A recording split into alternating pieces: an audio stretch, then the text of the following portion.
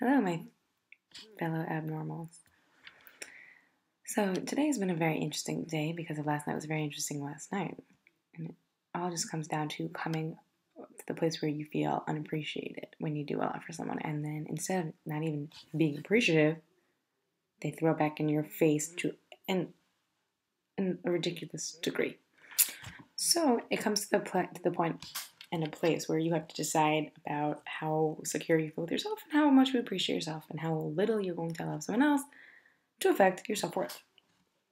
When you feel that you did a lot for someone and you know you want to get recognized, you don't need to be recognized. You understand if they didn't view it as such a big deal, but it feels nice when you do something for someone and they recognize it, right?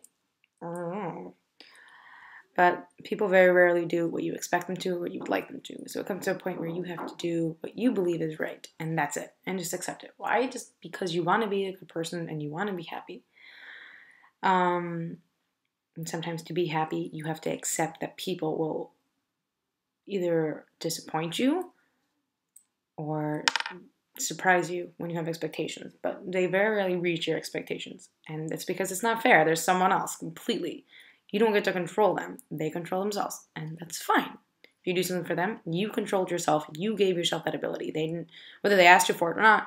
The person that still gave the last push, the last actual motion, was you. So, sorry, you did it. Whether you're trying to be nice, kind, thoughtful, you know, some people will just be assholes and throw back in your face.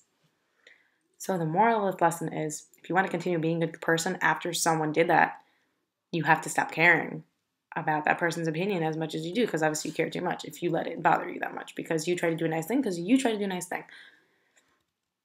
And that's it. And that was a little pessimistic. Don't stop caring. That was a little dramatic. Obviously, care about that person's opinion. You care about them, but you have to start caring about your own opinion more and your own worth more. Moral of the story: you have to feel good about yourself because you did the right thing not base it off of what you're hoping they give you because they might not give you this, they'll give you a lot, but you have to be the one to give yourself the main push, the main extra encouragement to do it again. Again, the last person and the first person in your life was you. So, this is the end of the first week, even though it's only the third day, and I don't know when the next time will be because I don't know when I'll have internet. That doesn't mean I can't record the videos and upload them together. And again, this might just be for me for the rest of my life, and that's okay. Because life isn't a popularity contest. It's about making yourself and making other people happy and finding happiness everywhere. And this is just for me and for everyone. So